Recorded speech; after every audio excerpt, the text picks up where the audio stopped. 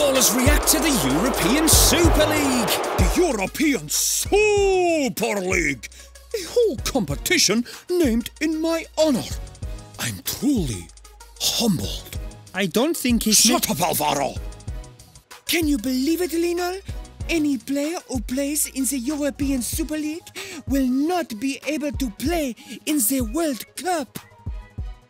Where do I sign? We get to keep these, right? Right? If they spell the super part with a Z, Zlatan is in. Each founding club gets 3.5 billion euros. That's the equivalent value of 70 Timo Werners. I think you undersold us, Roman. It's a disgrace. It's pure greed by the top clubs. Just like the formation of the Premier League was? Yeah, but. Just like the formation of the Champions League was? Yeah, but think of the fans. Like we thought of the fans by charging £15 a game during lockdown? Yeah, but. Like we think of the fans by charging huge subscription fees just to watch the Premier League? Yeah, but. And just like we thought of the fans by changing all the kickoff times to suit us and not the fans who attend the game? Yeah, but. Breaking news! Sky Sports have paid £65 billion to become the official broadcaster of the European Super League. Subscription fees for fans will start at £10,000 a year. Bargain! Welcome to the first game of the European Super League, and it's live! As I've said all along,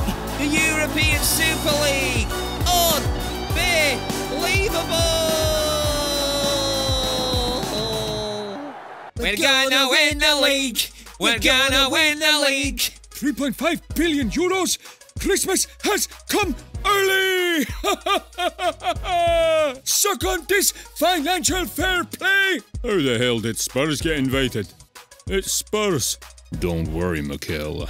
I made sure this new European Super League does not have relegation. Phew! We are staying up. Say, we are staying up. Just to confirm, Senor Perez, you aren't expecting us to play attacking football, are you? Please, please, please. No? Oh. Oh, oh that's a relief. We're in.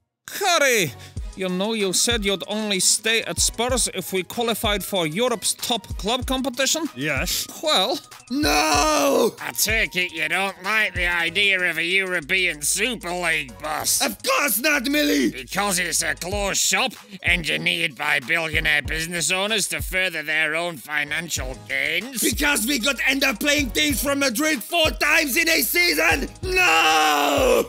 On the plus side, at least we won't be in the UEFA Conference League next season. Where do we sign? The European Super League. Oh, another trophy we won't win. it's Daniel Levy. I wonder what he wants. He's probably offering me a contract extension. Arsenal, Atletico Madrid, Manchester City, and Tottenham Hotspur have won zero European Cups, but they are in the European Super League. You know? The European Super League?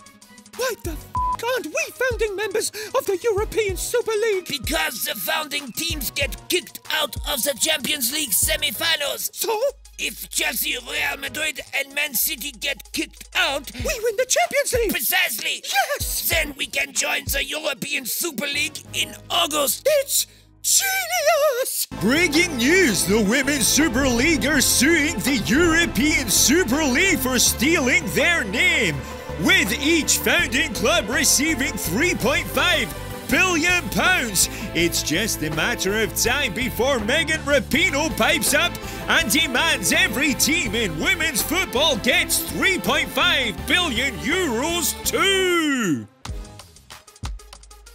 Holy shit! Do you know how many school meals we could buy with this funding? It's a disgrace. Y- y- y- you said the same thing uh, uh, uh, about my transfer fee? Understand by it. Oh.